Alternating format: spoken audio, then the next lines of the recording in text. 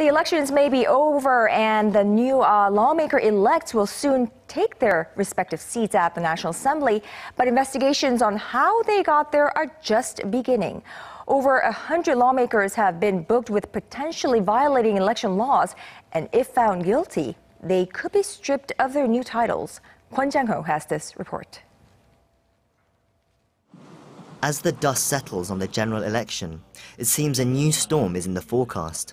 State prosecutors announced on Thursday, a day after the April 13th general election, that they have booked 104 elected lawmakers for violating election campaign laws. That's more than one in three lawmakers elect.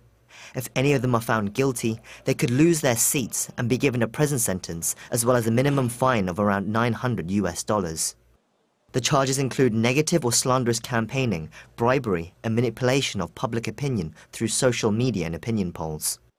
The investigation covers over 1,400 people who were involved in the general election, such as campaign managers, accountants, and family members. Compared to the 2012 parliamentary elections, this is an increase of over 30%. That year, almost 1,100 people were booked, and 79 of them were elected lawmakers. Of the 79, 30 were indicted and 10 eventually lost their seats. Currently, the leading parties are separated by one seat. We don't know who in which party are involved, but the implications of the investigation could be big. The nature of charges have changed since 2012, with a decrease in bribery in particular. On the other hand, there has been a marked increase in tampering with opinion polls and social media marketing. It's a commercialization of politics, and the situation is pretty bad compared to other countries.